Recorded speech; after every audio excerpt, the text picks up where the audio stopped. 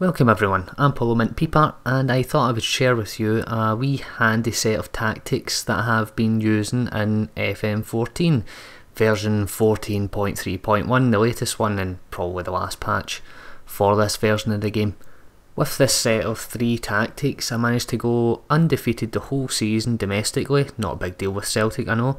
Uh, also had a nice wee run in Europe, got to the semi-finals and as you can see had some really nice results on the way. Now on to the tactics.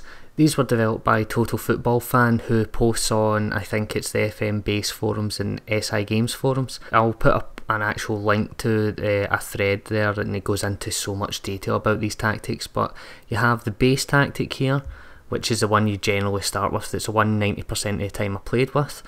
Uh, you have the waste time defensive one.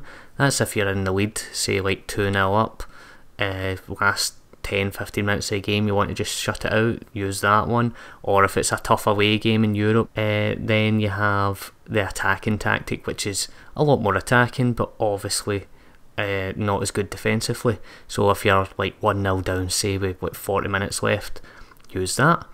So all these tactics have opponent instructions um, built in. So make sure you don't either ask your assistant to set your opponent instructions do not do that um, so just to be clear, that that's already programmed for you. You don't have to do any of that. So big thanks to Total Football Fan again for these tactics, and I'll have the all the links you need in the description below. Thanks very much.